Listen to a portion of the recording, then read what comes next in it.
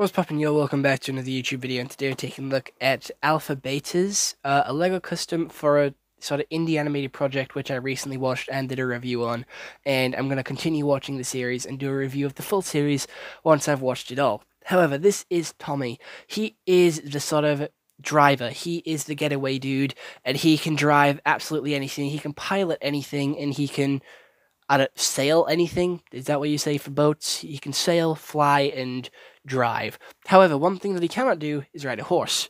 And his outfit is like a, a yellow hoodie. And I tried to sort of get that with the sort of Arin torso piece from LEGO Ninjago Dragons Rising. I used a Luke Skywalker headpiece and some green hair because he has green hair, but this is from Joker, and some plain brown legs because that is the color of his trousers. And that's pretty much all I have to say for this character. He is the driver of the group, and they go into these VR headsets and they sort of stop the world from getting destroyed from inside video games by making sure people continue to play video games so they power up the entire world and make sure none of the aliens get out of Area 51.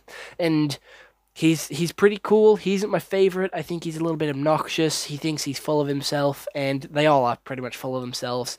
However, I, I just don't like this one. He he isn't full of himself in like a good way, and he's slightly obnoxious, and he says he can do something when he can't. He's very sort of insecure, and I don't know. I just I just don't like this dude. He he isn't my favorite based on character design or just how he acts in the show, and there isn't a lot else to say about him. Again, I've only watched one episode, so let me know what you guys think about the show in the comments below, and if there is any other key information about this guy that I missed in this video, because no doubtedly there is.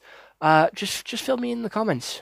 And um, yeah, this is Tommy from Alpha Betas. Uh, definitely go support the show because it is one of the better indie animated series which I've seen recently right here on YouTube. So you can go watch it for yourself for free right here, right now. So I'll see you all in the next one where I do the other three members from Alpha Betas, and goodbye.